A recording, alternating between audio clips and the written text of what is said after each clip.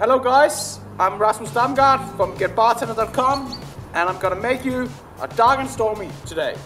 What's in a dark and stormy? Thanks for asking. Lambs, navy rum, Angostura bitter, fresh lime and ginger beer. So four very nice ingredients, very easy to make. Let's get started. First we need lots of ice. Boom.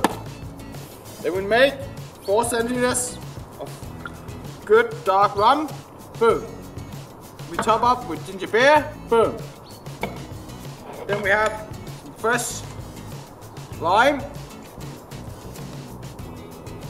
We have some nice lime wedges and two dashes of Angostura bitter.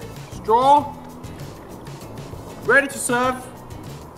And why we choose the dark and stormy? Well, take a look, look around. It's perhaps not stormy, but it's pretty dark.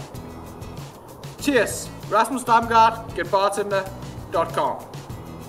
Boom.